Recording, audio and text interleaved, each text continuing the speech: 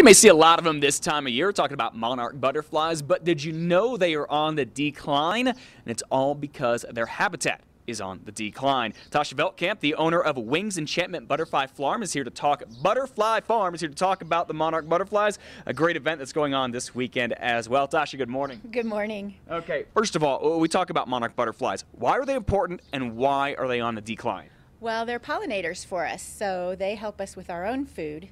And the biggest problem with their decline is habitat loss. And I just posted an article to my Facebook page last night about big agriculture and how the surrounding parts of the farm are, are, increasing in agriculture, so it's decreasing the milkweed, which is what the monarch caterpillars need in order to become butterflies. Okay, so what did you bring here? By the way, you can get a link to her Facebook page on our website at kasa.com. You brought a bunch of monarch butterflies. They're absolutely gorgeous. Yeah, I've got monarchs and I have a couple other different ones in there as well.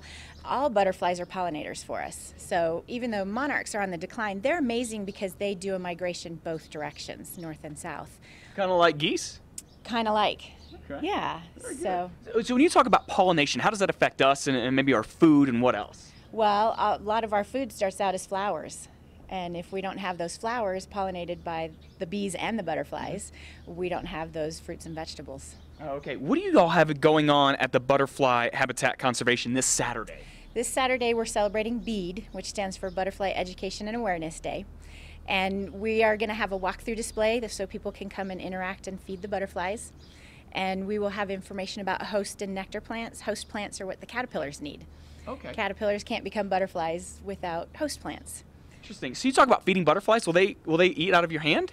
We actually have we call them well they're Q-tips. We call okay. them nectar sticks. Gotcha. And you put nectar on that and you can feed the butterfly. And you hold it out and mm -hmm. the butterfly will fly right up to you and Sometimes eat the nectar off. They will, but we can also just kind of pick them up with that. Okay, very cool. The other really cool thing you have, the wind's here blowing everything away, is you have uh, butterfly kits that people can buy for just 10 bucks. Yep, that's all they are. It's four to five caterpillars and they're painted lady butterflies.